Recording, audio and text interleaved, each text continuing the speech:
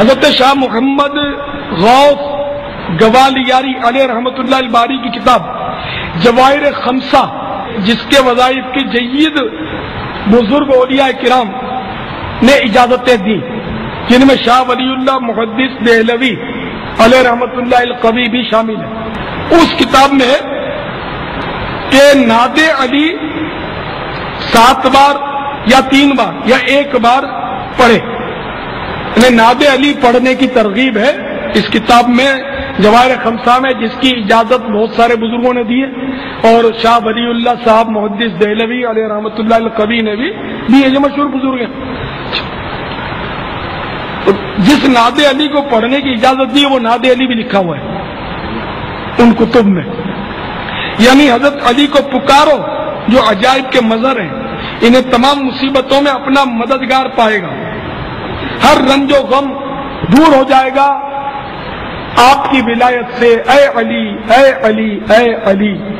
तो प्यारे प्यारे मीठे साहब, भाइयों, आपने देखा कि बुजुर्गान दीन भी मोला मुश्किल कुशा मानते चले आ रहे हैं और हज़रत अली को न सिर्फ़ पुकारते थे, बल्कि पुकारने की इन्होंने तालीम दी। तो शरण इसमें कोई कबात नहीं है। आप शैतान के वसवसे को बिल्कुल झटक दें कि जो दुनिया से चला गया उसको पुकार ही नहीं सकते, ऐसा नहीं है। बसमीम ये एक साथी ने वीडियो भेजी है, जिसमें बरेलियों की दावत इस्लामी के इलियास अत्तारी साहब नाद अली से हज़रत अली रज़ी अल्लाह से इमदाद लेने का जवाब का कौल नकल कर रहे हैं और शाह मुहदस देलवी रहमा की किसी किताब के हवाले से ये नाद अली का सबूत दे रहे हैं। पहली बात तो ये कि इलियास अत्तारी साहब ने शेख अब्दुल्ला शेख शाह मुहदस देलवी रहमा को बड़ा आलिम का और साथ में रहमत ताल के अल्फाज भी उसके लिए इस्तेमाल किए। इसका मतलब है कि वो शाह साहब को मुसलमान समझते हैं और आल सुन्नत की बड़ी हस्ती समझते हैं। जबकि इनके मज़हब में शाह मुहदस देलवी रहमत माजल्ला गुस्ताख, वहाबी और काफिर हैं। अस्तफ़रल्ला चुनाचा में क्या सनफियत के अंदर मौलवी उमर अशरवी ने पाँच सौ छहत्तर और पाँच सौ सतहत्तर सफ़े नंबर पर तफसील के साथ लिखा है कि शेख वलीउल्ला ये वहाबी हो गया था। इसी तरह ये एक और किताब में पास मौलवी गुलाम महर अली जिनका मशहूर आलम गुजरा है, ये उसके मदरसे से उसकी अपनी किताब छपी हुई है इसमतुलनबी इसके सफ़ा नंबर सात पे लिखा है कि सारे फसाद की जड़ ये शाह वल्ला मुद्दस देलवी था। इसी तरह एक और किताब है, मुकम्मल तारीख़ वहाबिया। ये मोहम्मद रमज़ान कादरी ने लिखी है। छापने वाला इसको शाह तराबुलक कादरी है और इस पर मंशा ताबिश कसूरी की तकरीज है। इसके सफ़ा नंबर चौहत्तर पर से बाकायदा उनवान लगा कि शाह वल्ला मुहदस देलवी और इबन अब्दुल वहाब नजदी की अकीदा व तालीम का मुआजना। और फिर ये साबित करने की कोशिश की कि इन दोनों के अकीदे एक थे और फिर सफ़ा नंबर चलते चलते अठहत्तर, उनहत्तर पर इसने शाह साहब के खिलाफ बड़ी बकवास की है। इसी तरह ये अलमिज़ान इमाम अहमद रजा नंबर जो मशहूर की किताब है, इसके सफ़ा नंबर 614 पर लिखा हुआ है कि हिंदुस्तान में सबसे पहले वहाबियत लाने वाले शाह वल्ला मुहदस देलवी थे माजल्ला तो आपके बड़े तो ये जो हमने इतने हवाले दे दिए, आपके मज़हब के मुस्तनद कराम है, जिन पर आपके मज़हब की बुनियाद है, जिन्होंने आपके मज़हब को मुदवन किया है, वो तो शाह वल्ला मुहदस देलवी को लिख रहे हैं वहाबी गुस्ताख।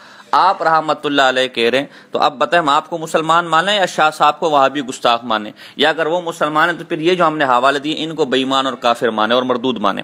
बहरहाल ये मसला तो ये जो दावत इस्लामी वाले हैं, वो हल करेंगे या उनके मानने वाले हल करेंगे। जहाँ तक शाह मोदी से देलवी की किसी किताब से नाद अली का सबूत देना है तो बिलफर्ज अगर ऐसी कोई बात हो भी तो ये इल्ज़ामी और तहकीकी दोनों जवाब मुलाजा फरमा ले। इसका जवाब ये होगा कि कलम हक शुमारा नंबर सात, मई, जून 2011 हमारे सामने मौजूद है, सफ़ा नंबर छत्तीस है। इस शुमारे में एक मजमून दिया गया है, मौलवी महबूब अली का, जो मौलवी हशमत अली रिजवी के भाई थे और बरेजों का बहुत बड़ा आलम गुजरा है। इस पर उन्होंने इनकी सवाने भी लिखी और बड़ी और जो ना इसके बारे में तारीफों के अलम गलम बांधे। इनका मजमून है, क्या इबन तेमिया के अकायद की शाह वल्ला साहब ने तस्दीक की है? इसके अंदर सफ़ा नंबर छत्तीस पे लिखते हैं कि शाह उल्लग और शाह अब्दुल मुहदस देलवी रहमा की जो किताबें हैं वो देवबंदियों ने उसमें तहरीफात कर दी हैं। ये मुहर्रफ हो के हम तक पहुँची है तो बिल फ़र्ज़ हम कहते हैं अगर शाह साहब की किसी किताब में ऐसा ऐसी कोई बात हो ऐसी कोई रिवायत हो तो वो भी किसी शिया या बरेलवी की की, की, की तहरीफ करता होगी कि डाक की, की, की तरफ़ से ये आई होगी। हमारे लिए वो हजत नहीं है।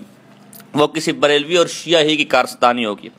अब इसका ज़रा तहकीकी जवाब भी मुलाजा फरमा ले। मेरे पास मुला अली कारी रहमा की मशहूर किताब है अलमौजुआतुल्कुबरा कोई भी शख्स इसके ऐसा ना होगा, अहल इलम जो इसके नाम से वाकिफ ना हो, कदीमी कुतुब खाने की छपी हुई है।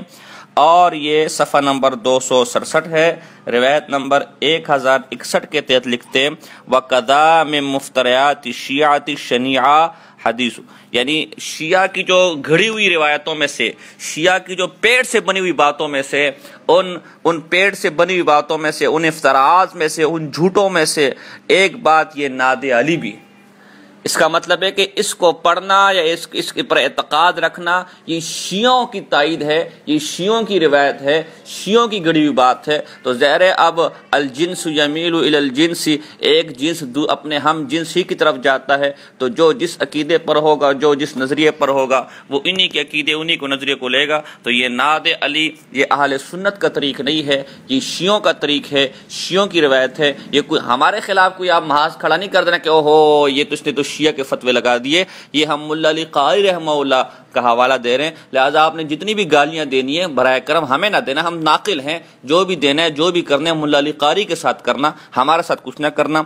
तो ये शियों की रिवायत है, आल सुन्नत का इससे कोई ताल्लुक नहीं। लिहाजा इन शिया के जो छोटे भाई हैं, एक काली पगड़ी वाले हैं और एक हरी पगड़ी वाले हैं, एक दसवीं वाले हैं और एक बारहवीं वाले हैं। सिर्फ़ दो दिन का फ़र्क है, दोनों के अकीदों में भी, दोनों के अमल में भी। लिहाजा इस रिवायत से बचें इसको हरगिज़ ना पढ़े, इस पर हरगिज़ अकीदा ना रखें। और अगर मैं शर्म और आया है तो किसी मुस्तन सबूत से बासनद हवाला पेश करके इसका सबूत दें, वरना तोबा और इस्तफार करें।